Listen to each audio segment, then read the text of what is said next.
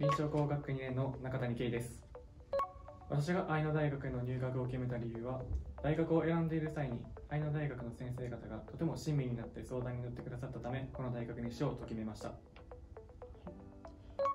私の祖父が以前臨床工学技師として働いておりその祖父の話を聞いているうちに私も臨床工学技師に憧れを持ちました。は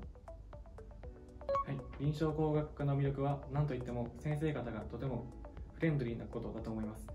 私自身とてもフレンドリーな先生方に囲まれて勉強しているのでとてもその点がとても理解が深まる点だなと思います。はいコロナ禍ではオンライン授業が多かったため先生にあまり質問ができるという環境がなかったんですが